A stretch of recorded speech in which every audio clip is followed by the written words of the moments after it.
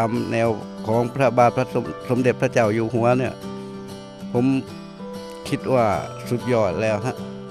คือว่ามันได้ผลร้อยเปอร์เซ็นต์ครับ แต่ว่าจะเอารวยไม่รวยฮะแต่ว่าสบายฮะมีความสุขฮะมันดีกว่าเดิมทุกอย่างทุกอย่างคือว่า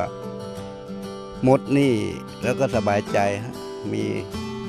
กินมีใช้ทุกอย่างฮะอยากไปไหนก็ได้ไป คงไม่มีใครเทียบเท่าได้ฮะไม่จักจะพูดว่าไงฮะ ผมก็คือว่ารักพระบาทสมเด็จพระเจ้าอยู่หัวของเรา